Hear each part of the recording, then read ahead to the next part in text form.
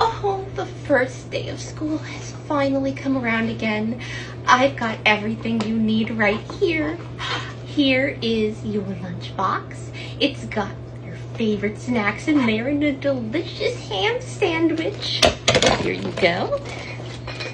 I've got your favorite water bottle here.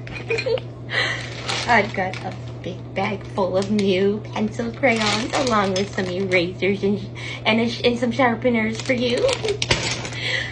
I've got a ruler. You're going to need that for like math or geography. a new pencil case to put all of your pencils in. And a binder for you to put your notes in. I'm so going to miss you. Mom, everything will be okay. I don't want you to be sad. Please, Mom, I will be fine. Now I, I gotta go or else I'm gonna be late.